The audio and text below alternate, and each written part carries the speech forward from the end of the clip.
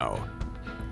Right now, healthcare providers have thousands of COVID 19 antivirals they can't use, and some countries are desperate to get them. Our ABC 10 News anchor Derek Stahl is going in depth to explain the red tape that's standing in the way.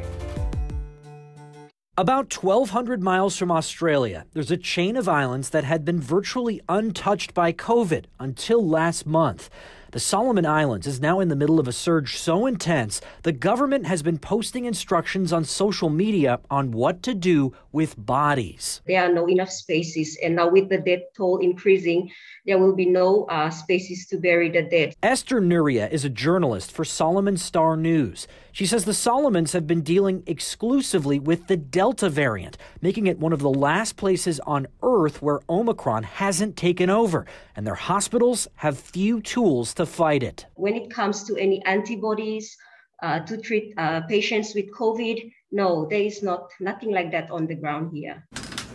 Here in refrigerators in San Diego and across California, there are life saving monoclonal antibodies that work against Delta, and clinics cannot use them. Right now, we're just kind of sitting on them because we're pretty confident they are not going to work at all for Omicron. Last month, the FDA paused the use of antibody cocktails from Eli Lilly and Regeneron when Omicron took over and told providers to use other COVID treatments instead. Unfortunately, we can't donate these drugs to other countries countries. We can't even send them to our other University of California members. UC San Francisco's Desi Kotis says all these antibody drugs, like the vaccines, were purchased by the federal government. And by law, the federal government controls their distribution.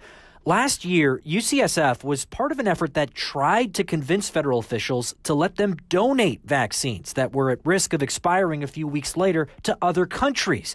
But Kotis says the situation with these antibody treatments is different. Back when we talked, the expirations were very short. With the Lilly Regeneron antiviral products, those expirations are much longer. The antibody drugs from Eli Lilly and Regeneron can be kept in a refrigerator for up to 18 months. They're also much more expensive than vaccines.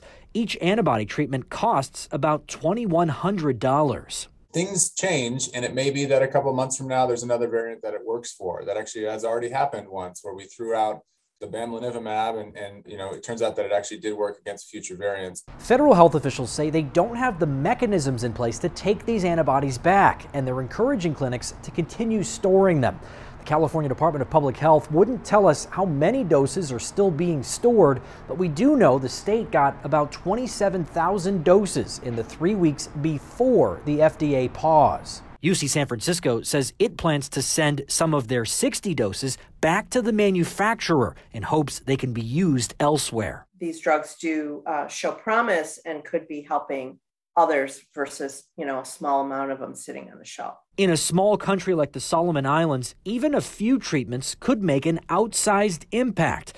But for now, they're not coming. Frustrating, frustrating. It's very frustrating. Derek Stahl, ABC 10 News. So last week, ABC 10 News sent requests to the U.S. Department of Health and Human Services asking if it would consider sharing these treatments with other countries. We'll update you when we hear back.